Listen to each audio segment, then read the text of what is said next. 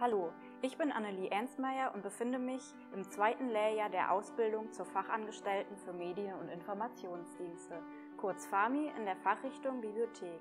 Meine Ausbildung mache ich hier in der Stadtbibliothek der Hansestadt Stralsund. Ich habe den Beruf gewählt, weil er mein Interesse an den verschiedenen Medienarten und auch die Freude am Umgang mit Menschen vereint. Ganz besonders gefallen mir hier die interessanten und vielseitigen Tätigkeiten im Beruf, Dazu gehört das Auskunft geben und Beraten von Lesern bei zum Beispiel Literaturberatung, Anmeldegespräche, Unterstützung bei Facharbeiten und bei der Benutzung der Online, über das Bestellen und Einpflegen von Medien in das Bibliothekssystem bis hin zum Planen und Durchführen von Veranstaltungen für ganz klein bis ganz groß. Beispielsweise Lesenächte, Bastelnachmittage, Programmieren von Robotern, Autorenlesung. Dieser Beruf wird einfach nicht langweilig.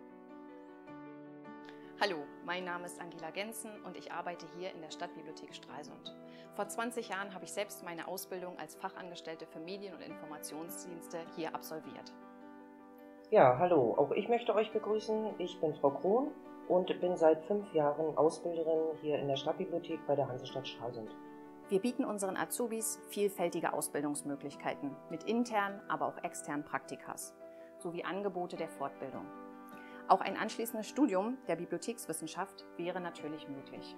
Wenn eure Neugier geweckt ist und ihr euch dafür interessiert, wie es hier hinter den Kulissen der Stadtbibliothek aussieht, habt keine Angst davor. Bewerbt euch für ein Praktikum, um einfach mal reinzuschnuppern, wie es bei uns abläuft, um herauszufinden, ob das eventuell euer Beruf für die Zukunft sein könnte.